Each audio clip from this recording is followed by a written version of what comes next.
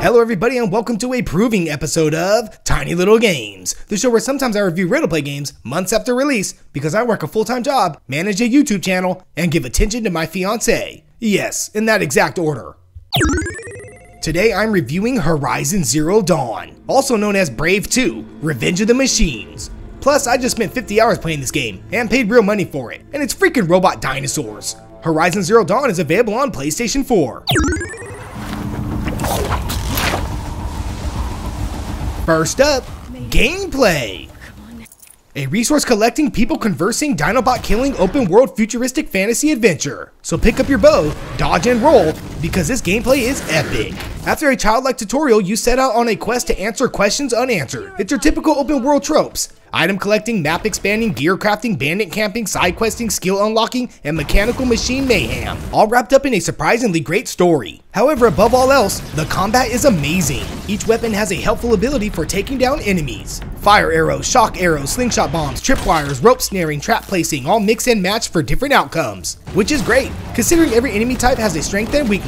Taking down a beast by setting it on fire and shooting off components with a well-placed arrow was epic and rewarding. Dodging into a slow-mo attack was just fun. And best of all, challenging. Yes, yes huge enemies will one-shot you for a quick death, and I came back begging for more. Throw in hacking machines to fight for you, and you have yourself a game that's more than a blast to play. In a market filled with redundant open world games, Horizon is a breath of wild fresh air. Oops.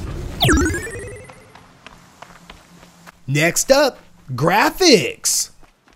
Like a PS4 juiced up and hit the gym to pump some iron. This is the best looking game on PS4, and that's no tall order, seeing as Uncharted 4 is a beast in itself. However, this is open world, and the landscapes are lush and lavish, ranging from snowy mountains to desert sands, all coming together in a massive graphical explosion. Particles are clear, dust is dusty, and hair is, well, moves weird. However, the character models are great to look at, even though their faces look like a Botox PSA. Besides the small imperfections, everything else is just perfect.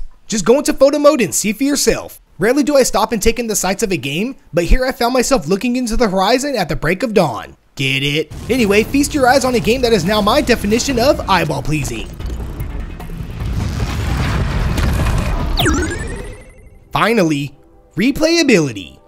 50 hours in and I just can't stop, won't stop, like P. Diddy. Yes, the content in this game is immense. Even though it's your typical open world content, the massive battles and large scope makes the collectathon that more enjoyable. Take on meaningful side quests, look for relics of a lost world, fight mini bosses to unlock hacking, get every skill, and search for the glorious best armor in the game. Or start a new game on a harder difficulty for a real challenge.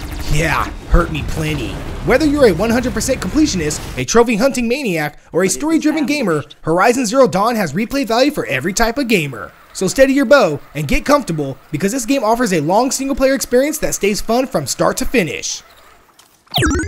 Now, I rate my real to play games on a three point scale. That's buy it, borrow it, or ditch it. Horizon Zero Dawn crafts, shoots, and explodes its way in as a buy it. Yeah! A glorious leap of faith into a mechanical world, plus freaking robot dinosaurs. The gameplay is a Dino Rush, the graphics are PS4 roids, and the replayability is a lush grassland. Everything about the game is quality. The combat, the story, the side quests, all wrapped up in a complete package. I can't remember the last time a game I played had me this involved. It's great to look at, it's fantastic to battle mechanical beasts, and it's just pure fun. So if you like open worlds with machine battles, then buy this game. Even at full price, it's worth every penny. That's saying a lot from a guy who waits for a price drop. Or if you are in the fence, then blast it down with a well-placed exploding arrow, because Horizon Zero Dawn comes with my highest recommendation. As always, thanks for watching Tiny Little Games, the show where sometimes I review real-to-play games. Please subscribe to support my channel, like for more reviews, and share so others can experience my content. Time for me to destroy a massive machine like a dino-killing maniac.